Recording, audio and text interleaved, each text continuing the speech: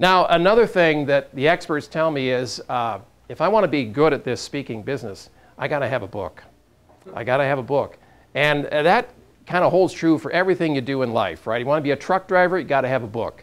So, uh, really important to have a book if you want to be a speaker, and I couldn't agree with that more. In fact, uh, I'm writing a book. yeah, I am. Now, the working title is uh, Daily Inspirations for People Fed Up with Daily Inspirations. That's uh, kind of the launching pad. Uh, I don't know if we'll keep that title, but close. Um, yeah, so I'm writing the book. Um, Actually, I haven't written a darn word yet, but uh, I am working on a book, and uh, I, am really proud of that. Uh, but again, you know, you can't just jump into writing a book. You gotta, you gotta think it through. You gotta plan. In fact, the experts say you gotta have a plan and a vision for your book. You gotta have a plan and a vision for your book. Can you say that with me? You gotta have a plan and a vision for your book. Yeah, your very book. good, very good. Thank you, Michelle, for that. For your book. I for forgot. Your book. For your book. And actually, anything in life, you got to have a plan and a vision, right? Strategy, too. Strategy, very good. I write the jokes here, Michelle. okay, so um, I, I, have been thinking a lot about my plan, uh, really thinking about it. And as they say in sales, you got to plan your work and work your plan and plan on working on your plan. Because without a plan, you have no plan to work on. And I plan on having a good, workable plan that I can work on. I just haven't gotten around yet to planning the plan, but I'm working on that.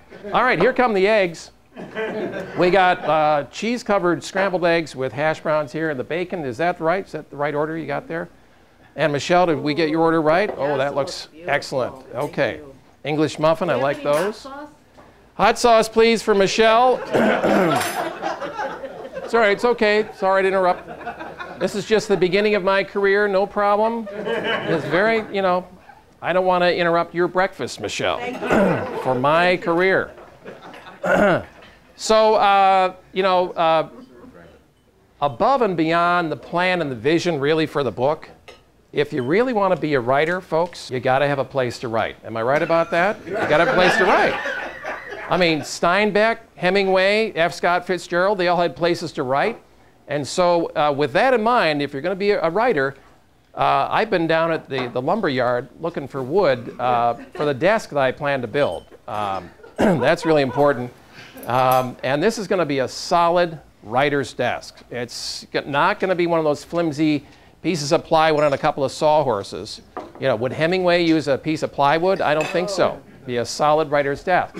So uh, you got that going on, and, and the desk has got to be just perfect. It's got to be the right height. Can't be too low, or else my back's going to start hurting on me, and I'll have to see the chiropractor over there. Uh, can't be too high, or my wrists are going to start hurting. Uh, and then there's the lighting. Don't even get me started on the lighting. Uh, did you know that there's like a whole slew of lighting experts in the Yellow Pages? I went through this, I, I spent 28 days just researching these lighting experts. In fact, I have a consultation with one after this at my house. Uh, she's going to come in and just figure out the perfect kind of lighting for my writer's desk because lighting and writing, they're like this. They go together like this. You can't have one without the other. Um, uh, actually, you can have lighting without writing. I mean, we have a room here with lighting and no writing, right? Um, except for probably the guy in the back texting going, this guy sucks. When's this going to be over?